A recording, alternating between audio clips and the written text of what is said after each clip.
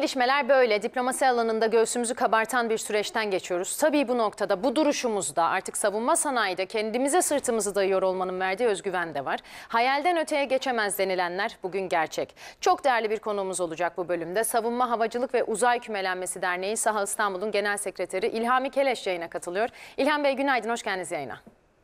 Günaydın İlhan Hanım. Teşekkür ediyorum. Hoş Savunma sanayide yerli ve millilik oranı ne mutlu ki gitgide büyüyor ve Saha İstanbul'da bu anlamda büyük sorumluluk üstleniyor. Çok geniş bir faaliyet ağına sahipsiniz. Çok yoğun çalışmaların merkez üssü konumunda olduğunuzu biliyorum. Son çalışmalarınızla başlayalım dilerseniz. Sağ İstanbul olarak özellikle e, bünyesinde ana yüklenici firmaları ve e, KOBİ'leri birlikte barındıran, aynı zamanda 22 tane üniversiteye de e, bu anlamda savunma sanayinin bir parçası haline getirmeye gayret eden bir e, yapı olarak, e, tabii şu an biraz önceki haberde de geçtiğiniz gibi e, diplomasinin merkezi haline gelmiş Türkiye aynı zamanda savunma sanayi e, ürünleriyle de e, çok dikkat çeker durumda. Özellikle oyun değiştiren teknolojilerin geliştiricisi bir ülke olma vasfıyla e, ve e, burada e, bu e, sistemleri gerçek e, savaş ortamlarında test edebilme ve bütün dünyanın gözü önünde bunların e, yetkinliklerini e, sergileyebilme imkanına e, kavuşmuş veya işte e, bunu e, ispat edebilme, e, rüştünü ispat edebilme durumuna kavuşmuş bir şey ülke olarak buradaki bu süreçlerin hem ülkemizin kendi milli sistemlerinin geliştirilmesi için ciddi bir potansiyel oluşturduğunu, aynı zamanda da e, ciddi bir ihracat kalemi olduğunu, yani savunma sanayinin e, savunma sanayi ihracatçıları arasında Türkiye'nin de e, özellikle yeni jenerasyon, yeni nesil e, işte oyun değiştiren teknolojileriyle hızlı bir şekilde girdiğini görüyoruz. Hı hı. Bu noktada nasıl bir yerdeyiz Türkiye olarak? Savunma sanayi ihracatından noktada- bahsediyorum. Yani burada ihracat rakamlarını e, kriter almak ne kadar e, şey olur bilmiyorum. Şöyle ki e, Türkiye bu anlamda e, yeni ama çok hızlı bir e, ivmeyle e, gelişim kaydeden bir ülke. Geçtiğimiz yıl itibariyle 3 milyar 224 milyon dolar bir ihracat rakamı, 3 milyar eşiği aşılan bir e, rakam yakalandı. Savunma Sanayi Başkanlığımız bu yıl için 4 milyarın üzerine hedefliyor. 4 milyar doların üzerine hedefliyor. Fakat e, burada e, artışın katlanarak gitmesi beklenen bir sürece girilmiş durumda. Onun için e, bu cümleyi kurma ihtiyacı hissettim. Yani e, Türkiye artık sistem ihraç edebilen, Türkiye artık platform ihraç edebilen ve e, bu yönüyle de bütün o bileşenleri aynı anda ihracat kalemine dönüştürebilen bir ülke e, durumuna geldi. E, işin bir tarafında bu var. Bir tarafında tabii Türkiye jeopolitik olarak da e, pay hatlarının merkezinde. Bu e, düne kadar e, doğuydu, güneydoğuydu, bugün kuzey oldu. E, işte e, Karabağ olayıyla işte kuzeydoğuydu, şimdi tam kuzey oldu vesaire. Yani çepeçevre e, bu tür ortamların göbeğinde olan bir ülke. Onun için Evet. Bu, bu olay aynı zamanda şunu da gösterdi. Milli savunma sanayi e, çok kıymetli bir şey bütün ülkeler için. Yani e, bu düne kadar Türkiye için çok çok kıymetliydi. Çünkü bulunduğumuz coğrafyada sırtımızı yaslayabileceğimiz, kendimizden başka, kendi öz yeteneklerimizden başka güvenebileceğimiz kimsenin kalmadığını çok net bir şekilde gördük. Öyle olunca e, kendi milli savunma sanayimiz kendi milli varlığımızın temel parametresi haline geldi. Onun için bu anlamda çok hızlı e, yol alma fırsatını da bulmuş olduk. E, müttefik dediklerimizden ambargoya muhatap kaldık. Hatta bırakın onu bizimle mücadele eden e, şeyleri, paramiliter unsurları desteklerken bulduk vesaire. Öyle olunca e, burada Türkiye'nin savunma sanayine dair e, şeyi e, hikayesi bir e, milli varlığını muhafaza hikayesine e, dönüşmüş durumda. Onun için bizim için herhangi bir san- sanayi aktivit aktivitesinden veya işte bir ticari aktiviteden çok farklı bir şeyden bahsediyoruz aslında. Evet. E, Yani Ama bu bunun noktada- da tabii Evet sizin de vurguladığınız gibi aslında Cumhurbaşkanı Erdoğan'ın her zaman dediği kötü komşu ev sahibi yaptı bizi. E, ne mutlu ki yaptı. Yerlilik millilik oranı şu an %70'lerin üzerinde öyle değil mi? Tam bir e, net bir rakam var mı o noktada?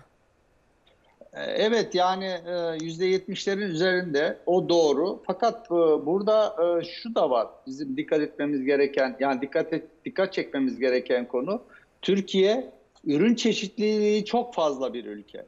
Yani şu anda işte göz önünde duran şeyler e, İHA'lar, SİHA'lar dünyanın çok dikkatini çektiği için böyle çok göz önünde ama e, onun alt sistemleri bazında, mühimmatlar bazında, kara araçları bazında, deniz sistemleri bazında e, çok çeşitli alanlarda Türkiye e, yani üst teknoloji, üst düzey teknoloji üretebilme, geliştirebilme yetisini kazanıyor. Esas burada pro, şey orada esas Vurgulanması dikkat gereken, gereken ha, değer orada. Çünkü bu yetenekler e, hayatın her alanına devşirilebilen, hayatın her alanında e, ürün geliştirebilme kabiliyetini tanımlayan şeyler. Çünkü savunma, havacılık, uzay dediğiniz zaman en top teknolojileri tanımlıyorsunuz. Bunu üretebilme yetisi aynı zamanda hayatın her alanına bir şeyler üretebilme ve veya oradaki ihtiyaçları milli yeteneklerle karşılayabilme yetisi anlamına geliyor. Dolayısıyla bir tarafta e, işte ekonomiklik yani ölçek ekonomisiydi, karlılıktı, şuydu buydu düşünülürken yani sivil piyasalar için söylüyorum. İşin bu tarafında Türkiye için stratejiklik de çok önemli bir parametre. Onun için bunları at başı götürüp buradan hem ülkenin ekonomisine e, çok ciddi bir e, katma değer oluşturmak ki milli teknoloji hamlesinin temel taşıdır ve burada e, milli teknoloji hamlesinde lokomotifi savunma sanayidir. E, buradan hem o anda e, ekonomi katma değerli ürün e, üretebilme ve satabilme e, imkanına kavuşturmak şeyi e, Türk endüstrisini Evet. ee, Bir taraftan da e, hem e, kendi milli varlığımızı muhafaza anlamında bunu değerlendirebiliyor olmak, diğer taraftan da e, uluslararası e, stratejinin bir argümanı olarak savunma sanayini kullanabiliyor olmak. Şu anda e, bütün yani Sağ İstanbul'un bütün gayretleri buradaki bu üç temel girdiye hizmet edecek şekilde devam ediyor. E, bu noktada milli yetenekler vurgusu bence çok önemliydi. İşte yerlilikten, millilikten, bunun artışından, olumlu seyrinden bahsederken gençlere nasıl yatırım yapıyorsunuz? Gençlere aslında e, malumunuz teknofestlerimiz var. Evet. E, artı sa- e, Sanayi Teknoloji Bakanlığı'nın yine e, TEÜŞ'le beraber yaptığı e, deney yap atölyeleri var. TÜBİTAK'la ve şeyle e, yap, deney yap atölyeleri var. E, bütün bunlar aslında gençlerimizi teknolojiye çekmenin çok e, önemli e, zeminleri zemin onlar için çok önemli zemin oluşturuyor. Mesela bugün e, bütün okulları yani Hakkari'deki okullar dahil olmak üzere bütün okulları Teknofest heyecanı sardı. Evet. Yani şu an şeyler başladı işte yarışmalar yapılıyor. Onlar ve orada hiç de küçümsenmeyecek, hiç de azımsanmayacak projeler çıkıyor orada. Benim Teknofest'lerde en büyük zevkim projeleri dolaşmak, o şeyleri dinlemek. Yani gerçekten o kadar vizyoner, o kadar ufuk açıcı şeylerle karşılaşabiliyorsunuz ki. Ee, yani mesela bir örnek vereyim. 2019'daki Teknofest'te bir e, kızımızı gördüm. Ee, projesinin ne olduğunu sordum. Çocuk kalktı anlattı. Bir tek Alzheimer anladım. Onun dışındaki hiçbir şey anlamadım Latince. Çünkü terimler kullanıyor. Ee, çocuk e, matematik olimpiyatları şampiyonu, üstün zekalı bir çocuk. Tıp fakültesi 4. sınıfta okuyor. Alzheimer'ın beyinde 8 etken noktası varmış. Bunların ilişkilerini matematiksel olarak modellemiş. Oradan ilaca gitmiş. Çocuğun elinde ilaç var.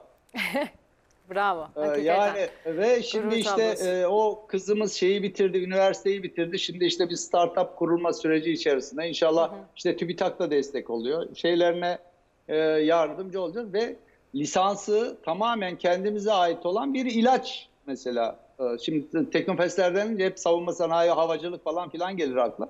Evet. İlaç mesela gibi yani böyle çok fazla e, örnekler var ve e, Teknofest'te yarışıyor olmak çocuklar için çok önemli bir ütopya, bir hayal ve o hayalin peşinde koşan milyonlarca çocuk var ve e, yani mesela bu sene e, ilk defa e, roketi tekrar indirmeyle ilgili bir yarışma başlandı. Yani artık uç noktalara doğru gidiyoruz. Şey Elon Musk'ın roketleri gibi gidecek, geri inecek. Yani onun şimdi yarışmaları şey yaptı. Yani e, gerek deney yaplarla, gerek teknofestlerle bunlar birbirlerinde bütünleyen şeyler oldu. Gençleri teknolojinin içerisine e, çekmeye gayret ediyor bu platformlar ve çok da güzel neticeler alınıyor. Yani gerçekten çok önemli bir dip dalgası oluştu bu teknofestlerle.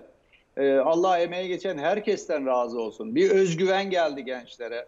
E, yani e, yurt dışına çıktıklarında yarıştıkları eşleriklerinden bir farkı olmadıklarını hatta onlardan üstün olduklarını gördüler.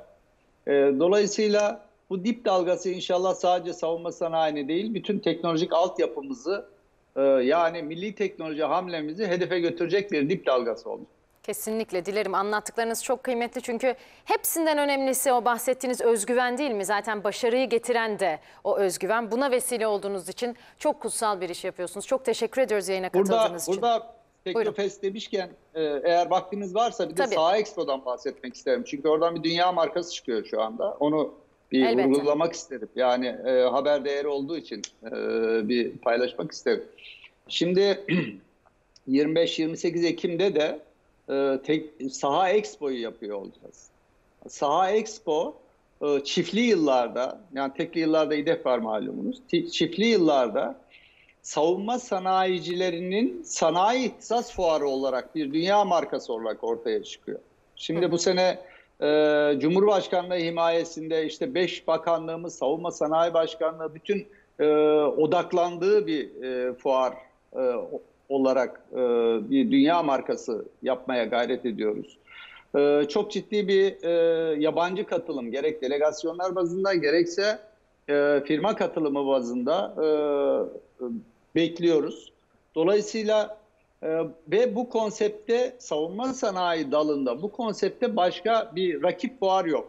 Onun için buradan bir dünya markası çıkarmayı e, hedefliyoruz ki e, ona çok yakınız. Yani e, inşallah bu Ekim'de bunun tescili yapılmış olacak.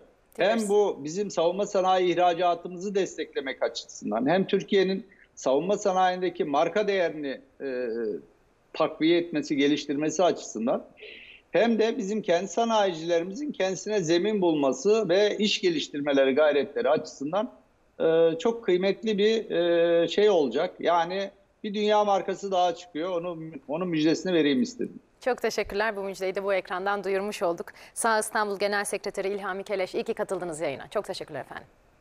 Ben teşekkür ederim İlhan Hanım. Sağ olun. Çok teşekkürler. Güzel bir gün diliyoruz.